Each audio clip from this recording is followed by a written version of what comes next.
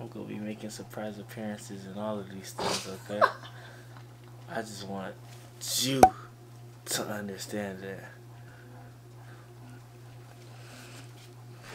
I'm crying. Okay. Woo woo. Woo woo.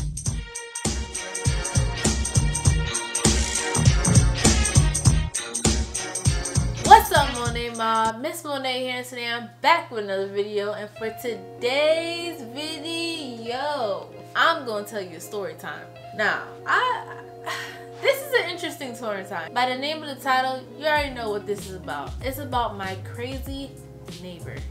I'll tell you about the time my crazy neighbor popped my car tire.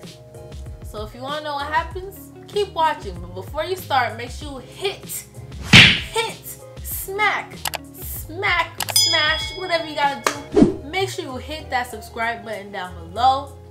We are on the road to 400 and then on the way to, to 1K. Be part of the Monae Mob. We're the best mob out there, like I said before. And if you're not part of the Monae Mob, what are you waiting for? What are you waiting for? So, like I said, like this video, comment down below what you think I'm gonna talk about before we start.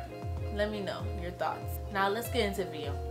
Okay, so let me tell you. So August makes it a year since I moved to this house. So last year August, we're in we're in September now. Well, last year August, um, we moved here, right? And mind you, we're getting excited to move. The neighborhood seem okay. Everything's all fine and dandy, right? Right? Wrong. Okay, so we're moving. We got a moving van to help move stuff from my aunt's house because we lived at my aunt's house at the time. So I we got a moving truck and we moved some things from the storage unit um, into the house, right? So we're moving things, we're moving things, and I, I remember it was a Friday night. It was a Friday night, right? So we're moving things in and out of the house. Um, we're driving back and forth from the storage unit. So mind you, like the we got the moving truck right in front of my house, and then we got like other cars. So there's no parking. So I parked my car like on the grass parts of the neighborhood. You know when there's like a on the street, there's like the grass part. Everybody parks. Everybody knows to park on the grass part of the side of the street, not in front of the driveway, right? So I parked in front of the grass part of the street. Okay, keep that in mind, guys. Okay. So now we're moving everything. It's getting late. It's time to um, bring the moving truck back. And yeah, so we're getting ready to do that, right? Now my brother is driving the moving truck and like he noticed something like somebody like at my car. I'm like, I don't pay, I don't really pay any mind because I was about to drive my mom's car. But like I see they're like near my car, right? My neighbors, apparently, my neighbors. So I go over there and I'm trying, and I see like the first I see a police officer, and I guess the police officer leaves, right? So I come over and I'm getting my car and my brother my brother gets out the moving van he's like, is everything okay? He said, nah, not everything's not okay. This car is blocking the my driveway. My girlfriend can't even come in and park into my driveway. And I'm like, what? Bro, what are you talking about, man? So much space and your girlfriend can't park into your driveway? Like if you, I have to like show y'all what the driveway. The driveway can fit about two cars. And I parked, I guess I parked like, okay, so you know how the driveways will have like the little, the, it's like straight like this and then it, it kind of like spreads out like that at the end, like uh, on the street, right? So my car was on that little end corner, like the little, my, my little tiny bumper. My car is not even that big. My, my small car is on the, I guess in front of that and his girlfriend doesn't have the right mind to go and park into the driveway. Apparently, I blocked the whole entire driveway and he had a problem with that, right? So he had the audacity to call the police. And mind you, all this is happening while I'm inside trying to move my move things into my house. And like he called the police and the police officer is like, yo, you just gotta call HOA. Like there's nothing I could do at this point. And he's like, there's nothing you do.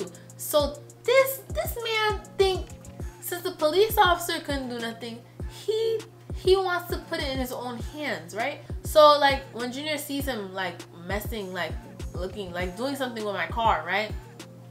He said, can you just move your car or whatever when I get there? So I said, fine, no problem. I'm like, yo, this guy is really serious. And like he said, I had to call the police because your your car was blocking my driveway. My girlfriend couldn't park into the parking lot, the driveway or whatever. Da da da da. All this, all this nonsense, nonsense, nonsense. He's talking too much, talking too much, you're talking too much. You're talking too much, sir. You're talking nonsense right now. So I was like, fine, I'm gonna move the car. Give me a second. Like, relax. It's not even a big deal. Anyways, so I walk, I drive to my car. I'm walking in my car. I put, I start my car, and I see them looking at something at the ground. I'm looking, I'm looking, I'm like, I wanted to ask them if everything was okay. Cause the way they were looking at my car, it something didn't sit right with me, right? Something just didn't sit right. So, oh, so I, I don't pay any mind. We have to get this car to the, the, I mean the moving truck back to the moving place, the U-Haul place. So I'm just ready to just move my car, pull up in my driveway, and then call it a day. So I moved my car that night and I went and took my mom's car and I followed them to the moving, no, I followed them to the U-Haul place to drop off the car and pick them up, right? So, the next day, I wake up for church. It is a good Saturday. Oh, mind you, I'm seven day Adventist if you don't know. So I go to church on Saturdays. But it is a happy Sabbath, right? It is a happy Sabbath. I have a bed to sleep on. I woke up in a bed. I wasn't sleeping on an air mattress. We have most of our furniture in the house. It's a happy Sabbath. I'm getting ready for church. Everything's fine and dandy. We go outside to get in my car, only to find this. My tires flat. Flatter than flat. Like super flat. Like I never seen anything like it. Super flat. And I'm like, I'm wondering like, what, what's, what's going on? What's, what's going on? I don't understand. I don't, I'm not, I'm not comprehending. My car, my tire was full of air. Now the air is gone. it's disappeared. It's nowhere to be found. I don't understand. So my brother, my the first thing my brother thinks about is the guy, then our neighbor. And like he's my brother is like, dang, he popped he someone popped the tire. I'm like, you serious? Like you think so? I'm like, yeah, it's somebody popped the tire. Cause he had to change the tire. Um, he put the spare tire on. He put the spare tire on and took off the tire and we saw like like somebody like punctured my tire with like a knife or something, right? So now, now that I'm thinking about, like, now that we're seeing this, I'm like going back in my head and I'm seeing the guys look. Junior, my brother said that he saw the guy fondling with my tires, like he's messing around with them. That's why he stopped everything. He got out the vehicle, the, the moving man. So then he got out the car and asked him if everything was all right. And this, and he's so like frazzled and frantic, like he's just angry because the police officers couldn't do nothing about it. Had I had known that he popped or put something through my tire, bro, since he wanted to call the police, let's call the police right back. Since you think you go pop people's tires, huh? That's what we're doing now. We're popping tires now, huh? And let's ask them why my tire's flat. Let's how about that? How about that? But the thing is, it was already like it was the next day. Like everybody's in sleep police officers left. They probably forgot about the whole situation. I was telling my brother after he changed the tire and everything, we sat in the car, we about to get ready to go to church. But I was like, nah, I don't think we go to church. We just gotta fix the tire. So we fixed the tire. But the first, before my brother fixed the tire, the first thing my brother does, he gets out the car and he walking, right? I'm sitting on my phone. I'm sitting on my phone like, dang, like my, my tires pop, like, I'm hitting up my mom, whatever, whatever. I thought my brother went inside the house. No.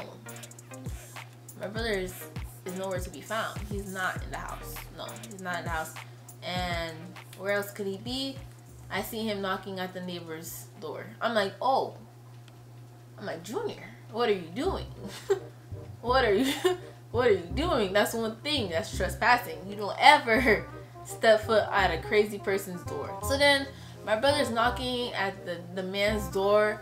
He's knocking, knocking. The guy don't want to come out of his house. None of that, right?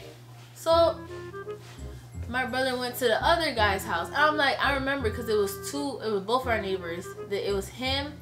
Okay, so he that the funny thing is he's four doors down. So the the guy that's three doors down next to him, he was smoking with him outside that night when he saw him pop the tire. So we knocked on, he knocked on the door and, and his wife come out. And he's like, hey, do you know anything about, did you see that guy pop our tire last night or whatever? Like, did you see anything suspicious? Because her, her husband was outside with him the whole time. She's like, no, I don't know anything about it. I'm like, oh, he's like, okay, bet, bet, bet. So then we not, so then we, our next, our next door neighbor, neighbors, um, they're sweet, adorable people.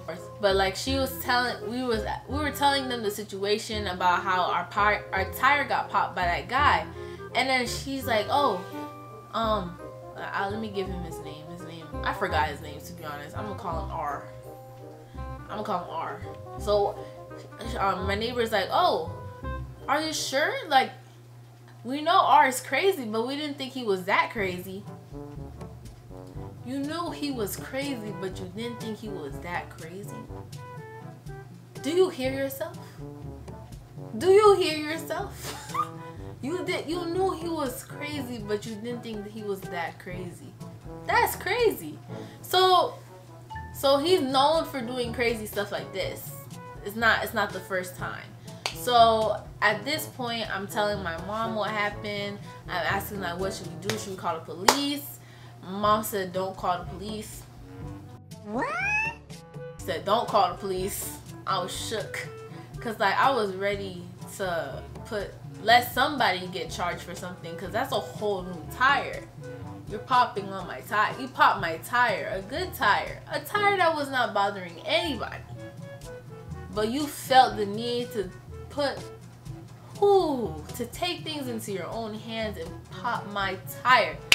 Had I had stopped and looked to see what they were looking at, they were looking at my tire inflating as I was driving to my house to park it in my driveway. That's what they were looking at. Had I had known, I would have called the police back up. Call them back. Call the police back. Let them know what you did to my tire, sir. Let them know about that. Maybe they'll do something about that situation since you were being petty about this whole thing.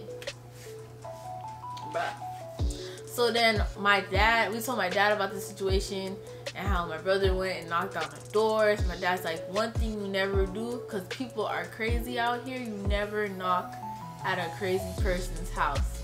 You don't know, you can't do anything because it's their territory. So at that point, you can't really do anything. So lesson, I learned a lot of things. Never to park in front of that guy's house and to this day, I never see him like leave his house. Like every time I come home, he's cars in the driveway, but I never see him. And whenever he and whenever his car is missing, like I never re-encountered him. But bruh,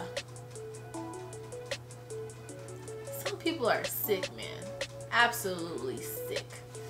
But yeah, that's all I have for you guys. I hope you enjoyed this story. If you guys want more story times, let me know because I have plenty of stories. I still have to tell you guys about the time where I almost failed my chemistry class. Bruh, that was an emotional story I gotta tell y'all. But before you go, make sure you like this video. Give it a big thumbs up. Like that. Subscribe if you haven't already and join the Monae Mob because we're the best mob out there. Period. and,